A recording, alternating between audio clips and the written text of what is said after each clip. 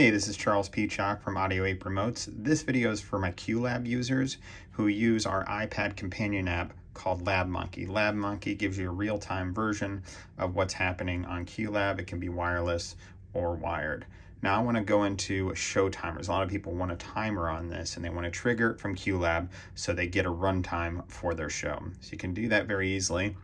You come into here, you go into options and you make sure the display timer is on and then you have to control this display timer using QLab. And I'm gonna show you how to do it.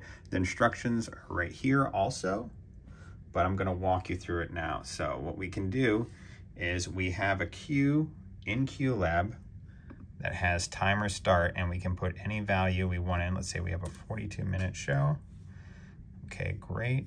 Now that that is there, you have to have hashtag timer forward slash and then the time in minutes in this format.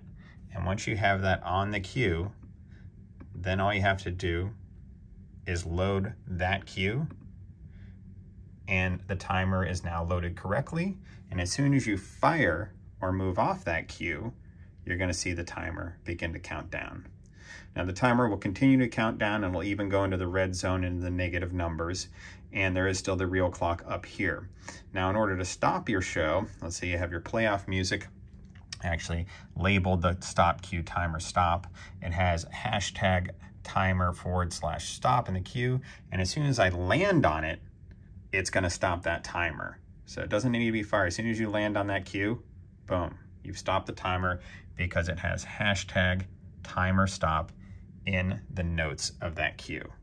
And that's how to use timers and how to stop timers for your show. This is Charles Peachock. We'll see you at showtime.